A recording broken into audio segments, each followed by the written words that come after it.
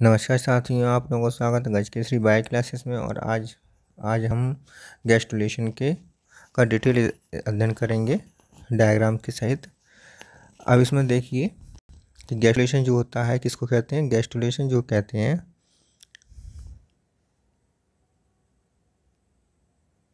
Gastrulation जो कहते हैं वो किसे कहते हैं? एक्टोडर्म बनने को मीजोडर्म बनने को, एंडोडर्म। ये तीन जर्म तीन लेयर होती हैं, इन्हें हम जर्म लेयर कहते हैं। इसलिए इनके बनने की क्रिया को गैस्टुलेशन कहा जाता है। गैस्टुलेशन का मतलब होता है जर्म लेयर का जर्म लेयर का बनना। और जर्म लेयर कितनी होती हैं? तीन होती हैं एक्टोडर्म एंडोडर्म और मीजोडर्म एक्टोडर्म बाहर वाली लेयर होती है आउटसाइड की। एंडोडर्म भीतर की, सबसे भीतर की लेयर होती है और मीजोडर्म बीच वाली स्तर की, बीच वाली लेयर होती है। जैसे कि डायग्राम में हम बना के बता सकते हैं यहाँ पर कि ये सबसे बाहर की लेयर है, ये एक्टोडर्म हो गई। इससे बीच वाली जो लेयर होगी वो एंड मीजोडर्म होगी और सबसे अंदर वाली जो लेयर होगी उसे हम एंडोडर्म कहेंगे। ठीक है तो इन एंडो एक्टोडर्म से कुछ विभिन्न प्रकार के शरीर के अंग बनते हैं, मीजोडर्म से भी विभिन्न प्रकार के अंग बनते हैं, ऐसे ही एंडोडर्म से भी विभिन्न प्रकार के अंग शरीर के बनते हैं। तो पूरे शरीर का जो निर्माण होता है वो इन्हीं तीनों जर्म लेयर्स के द्वारा ही होता है और इनका, इन जर्म लेयर का निर्माण जो होता है उसे हम कहते हैं गैस्टुलेशन ठीक है? तो सबसे पहले क्या होता है कि जो शुक्राणु होता है स्पर्म स्पर्म जो होता है वो एग के साथ अगुणित होता है हैप्लॉइड होता है एग भी हैप्लॉइड होता है शुक्राणु मतलब स्पर्म एग के साथ। एग शुक्राणु जो है एग स्पर्म जो है वो एग को फर्टिलाइज करता है और जायगोट का निर्माण होता है। जायगोट कैसा होता है? डिप्लॉइड होता है। जायगोट में क्लीवेज क्लीवेज क्लीवेज हो, होते हैं इसमें थोड़ा कुछ क्लीवेज होते हैं मतलब डिवीज़न होते हैं। और डिवीज़न होने के पश्चात जो है क्लीवेज होने के पश्चात जो है विदलन होने के पश्चात मॉडुलर स्टेज आती है। मॉडुलर स्टेज को अगर हम कट करके देखें, मिड लाइन से कट करें, इसे, इस तरह से मिड लाइन से इसे कट करके, कट कर दें और कट करके हम जो देखें तो हमें क्या दिखाई देगा? हमें दिखाई देगा इसमें सेल्स हैं जो बीच में बीच में एक, ये बीच में एक क्या है? कैविटी है। बीच में एक कैविटी है, बाहर की तरफ़ ये सेल सेल से सेल इसके चारों तरफ़ कैविटी के चारों तरफ़ सेल पाई जाती हैं। ये इस पर आएगा मॉडुलर स्टेज हमें दिखाई देगा। ये मॉडुलर स्टेज में जब विभाजन होता है और तब विभाजन के पश्चात क्या बनता है? ब्लास्टुलर स्टेज बनती है। मॉडुलर स्टेज के बाद ब्लास्टुलर स्टेज आती है। ब्लास्टुलर स्टेज में सबसे बाहर वाली जो लेयर होती है, उसे हम कहते हैं ट्रोफोब्लास्ट सेल्स उसे हम क्या कहेंगे? ट्रोफोब्लास्ट सेल्स, देखिए, ये ट्रोफोब्लास्ट सेल्स कहलाती है और उसके अंदर जो फ्लू, जो कैविटी होती है, वो फ्लूड से फिल्ड होती है, फ्लूड फिल्ड कैविटी होती है और इसमें एक नीचे, एक साइड में इनर सेल मास, अंदर की तरफ़ सेल्स सेल्स का एक मास पाया जाता है, जिसे इनर सेल मास कहते हैं। अब इस ब्लास्टुलर स्टेज जो ब्लास्टुलर स्टेज है ये जिसमें ट्रोफोब्लास्ट सेल्स है फ्लूड फिल्ड कैविटी है और inner mass inner cell mass है। तो हम्म, इससे क्या होगा कि इनर सेल मास है इन इन सबको हम ब्लास्टुला कहेंगे। ब्लास्टुला के स्टेज के भी पार्ट्स हैं इसमें गैस्टुलेशन की क्रिया होती है इससे जम लेयर का निर्माण होता है। इसे हम कहेंगे गैस्टुलेशन गैस्टुलेशन कहेंगे ठीक है? तो ये जो गैस्टुलेशन है ये दो तरीके का होता है। एमनियोटिक एनिमल्स में अलग होता है नॉन एमनियोटिक एनिमल्स में अलग प्रकार का होता है। एमनियोटिक एनिमल्स में हम चिक में चिक एम्ब्रियो के अंदर देखेंगे गैस्टुलेशन और non embryonic non amniotic animals में हम फ्रॉक के अंदर देखेंगे गैस्टुलेशन ठीक है? तो ये दो प्रकार से हम अध्ययन करेंगे। तो पहले हम देखते हैं फ्रॉग में गैस्टुलेशन तो फ्रॉग गैस्टुलेशन में क्या होता है कि जब ब्लास्टुला स्टेज होती है तो ब्लास्ट स्टेज में सबसे बाहर की तरफ़ ब्लास्टो सिस्टो ब्लास्ट कौन सी होती है? सबसे बाहर की तरफ़ कौन सी लेयर बताई थी हमने? ट्रोफोब्लास्ट सेल्स होती हैं। ट्रोफोब्लास्ट सेल्स जो होती हैं, उसमें एक तरफ़ इनर मास होता है अंदर की तरफ़। इसे जिससे क्या बनता है? ग्रे क्रिसेंट स्ट्रक्चर बनता है। क्या बनता है? ग्रे क्रिसेंट स्ट्रक्चर बनता है। ये ग्रे क्रिसेंट स्ट्रक्चर वाले स्थान पर ही नीचे की तरफ़ एक पोर बनता है, जिसे हम कहते हैं प्लास्टोपोर जिसे हम क्या कहते हैं? ब्लास्टोपोर। ये ब्लास्टोपोर कहाँ पर होता है? जहाँ से एनिमल पोर की तरफ़, इस जहाँ स्पर्म एंट्री करता है। स्पर्म एंट्री करने वाले स्थान के जस्ट अपोजिट साइड में ब्लास्टोपोर पाया जाता है। वहीं पर ग्रिकेसेंट या एनिमल, वो सेल्स का एक मास पाया जाता है, जिसे ग्रिकेसेंट स्ट्रक्चर कहते हैं। ठीक है? तो ग्रेस्केसेंट स्ट्रक्चर जिधर होता है, उधर ही ब्लास्टपोर होता है और ब्लास्टपोर किधर होता है? जहाँ से स्पर्म एंट्री होती है, उसके जस्ट अपोजिट साइड में ब्लास्टोपोर बनता है। ब्लास्टोपोर बनने के बाद ब्लास्टोपोर बनने के बाद इन्वेजिनेशन की क्रिया होती है। इन्वेजिनेशन में क्या होता है कि ब्लास्टोपोर वाले स्थान पर वाली जगह से अंदर की तरफ़ सेल्स जो है, अंदर की तरफ़ मूव करती, चल मूव करना शुरू कर देती हैं। इसे कहते हैं इनवेजिनेशन इन माने अंदर की तरफ़, अंदर की तरफ़ मूवमेंट होता है। ब्लास्टुला में अंदर की तरफ़ मूवमेंट होते हैं। सेल्स के इस तरह का जो लेयर है सेल्स की लेयर इसका अंदर की तरफ़ मूवमेंट होता है। इस तरह से, और इसको हम कहते हैं इनवेजिनेशन इन्वेजिनेशन की क्रिया होती है और इन्वेजिनेशन की क्रिया में जो जगह बनती है अंदर बीच वाली, ये वाली जो जगह दिखा रहा हूँ मैं, बिंदी बिंदी ला रहा हूँ, ये इस पॉइंट ये जो बनती है, इसे कहते हैं आर्केंटोन ये खाली स्थान होता है, इसलिए आर्केंटोन कहलाती है और ये आगे चल क्या बनाती है? प्रिमिटिव गट बनाती है। ये क्या कहलाती है? आर्केंटोन कहलाती है खाली जगह और ये ये बन, ये जो, ये स्ट्रक्चर बन रहा है ये स्ट्रक्चर को हम क्या कहेंगे? प्रिमिटिव गट प्रिमिटिव गट कहेंगे।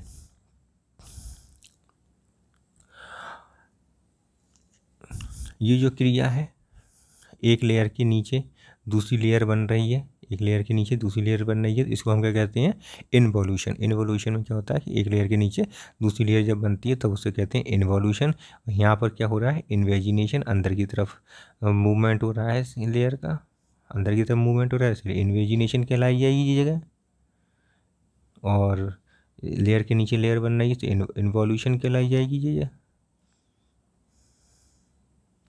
ठीक है? और अंदर की तरफ़ जो जगह खाली है, इस खाली जगह को कहेंगे आर्केंट्रॉन और ये जो स्ट्रक्चर बनना है, इसे कहेंगे प्रिमिटिव गट ठीक है? तो ये हो गया हमारा ब्लास्टूला में मूवमेंट स्टार्ट हो गया। फ्रॉक फ्रॉक का मूव फ्रॉक में चल रहा है, देख रहे हैं इस समय। अब ये जो मूवमेंट था इन्वेजिनेशन हो रहा था इन्वेजिनेशन होते होते ये अपोजिट साइड तक पूरा पहुँच जाता है। तो जहाँ से स्टार्ट होता है, वहाँ से लेकर अपोजिट साइड तक पूरी एक ये आहार नाल या एलिमेंट्री कैनाल बन जाती है, ठीक है?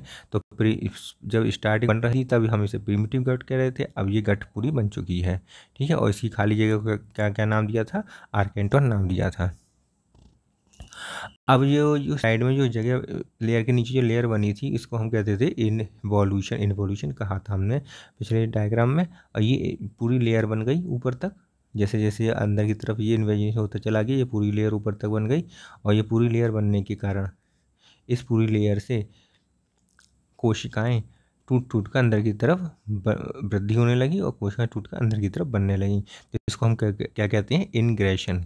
इनग्रेशन जो हमने पिछली वीडियो में बताया था कि इनग्रेशन क्या चीज़ होती है, इन्वोल्यूशन क्या चीज़ होती है, इन्वेजिनेशन क्या चीज़ होती है इसके बारे में डिटेल बताया था हमने।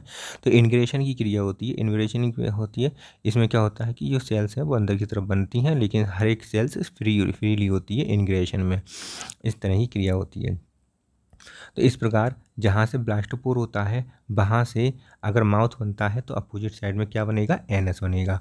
यदि जहाँ से ब्लास्टोपोर बनता है, वहाँ पर एनएस बना है तो अपोजिट साइड में क्या बनेगा? माउथ बनेगा। ठीक है? तो फिर अगर ब्लास्टोपोर वाले स्थान पर, को ब्लास्टोपोर जहाँ पर था, वहाँ से अगर माउथ बनता है तो ये किसमें होता है? ये जो एनिमल्स होते हैं, उन्हें कहते हैं प्रोस्टोस्टोम तो प्रोटोस्टोम जो होते हैं एनिमल्स होते हैं, प्रोटोस्टोमिक एनिमल्स होते हैं, उनमें ब्लास्टोपोर से माउथ बनता है।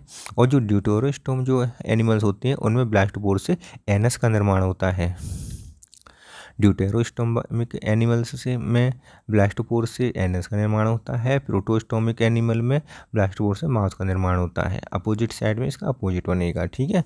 ड्यूटोरोस्टोमिक है तो ब्लास्टोपोर के अपोजिट साइड में क्या बनेगा? माउथ बनेगा और ड्यूटो प्रोटोस्टोमिक है तो ब्लास्टोपोर के अपोजिट साइड में एन बनेगा, ठीक है?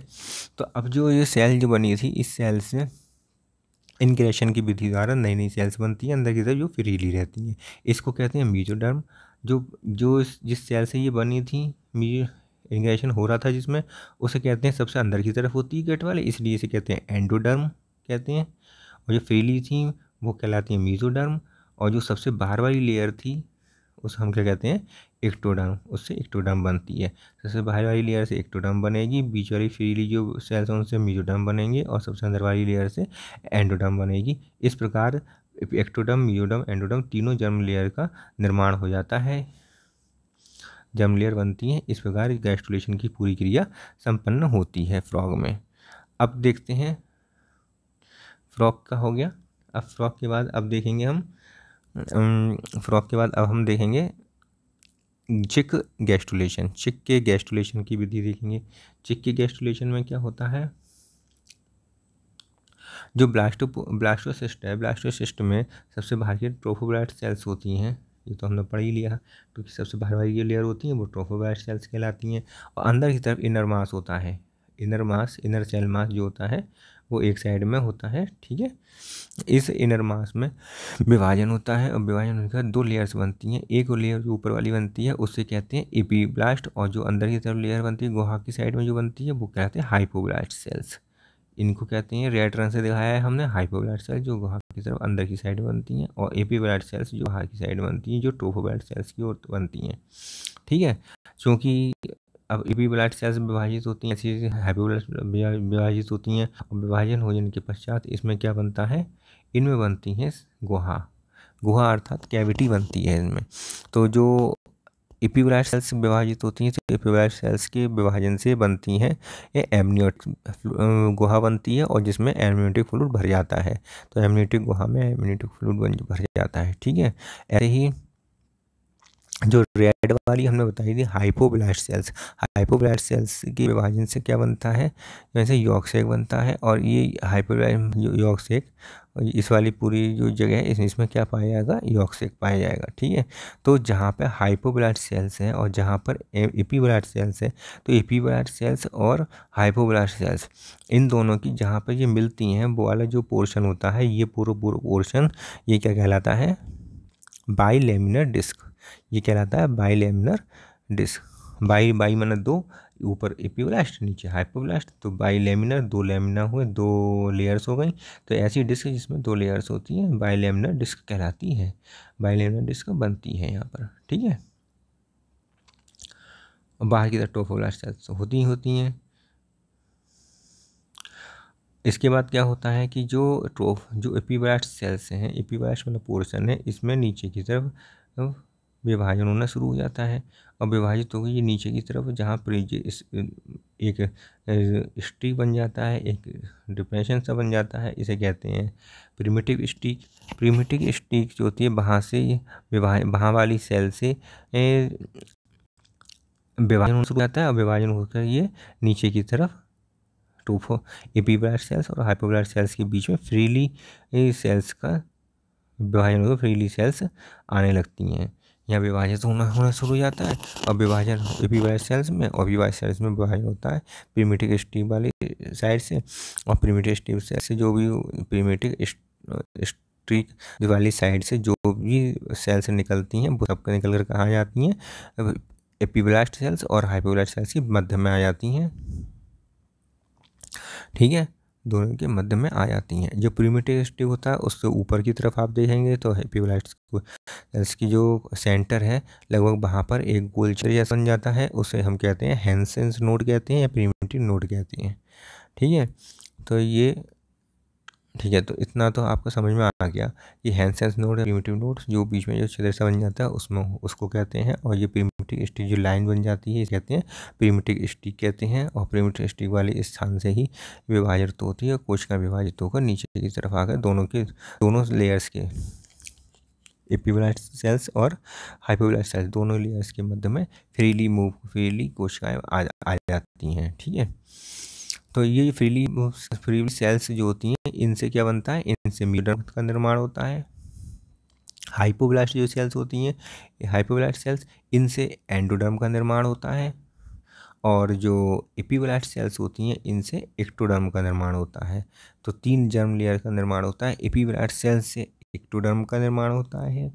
फ्रीली जो सेल्स होती हैं, दोनों के मध्य में आ जाती हैं। इपीब्लास्ट और हाइपोब्लास्ट के मध्य में पाई जाने वाली जो सेल, फ्रीली सेल्स होती हैं, वो उनसे मीजोडर्म का निर्माण होता है हाइपोब्लास्ट से एंडोडर्म का निर्माण होता है। इस प्रकार तीन जर्म लेयर का निर्माण होता है, यही गैस्ट्रुलेशन की क्रिया है चिक एम्ब्रियो में।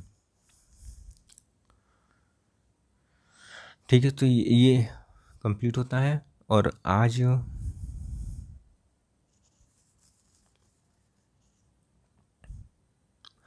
इसके बाद जो आता है